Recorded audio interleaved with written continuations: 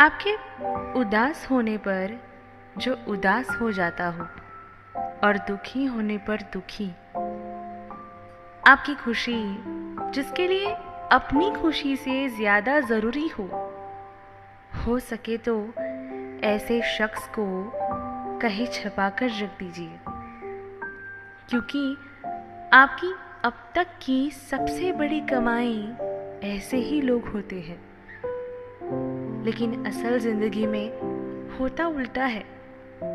मानव स्वभाव उन लोगों और उन चीज़ों के पीछे भागता है, जिनको पाना और जिनके करीब जाना मुश्किल होता है। फिर एक वक्त ऐसा भी आता है कि अपने स्वार्थ में धीरे धीरे उनको भी खो देता है, जो उसके साथ निस्वार्थ बने हुए थे। ध्यान से देखिए तो हमारे दुखी होने का एक बड़ा कारण ये भी है।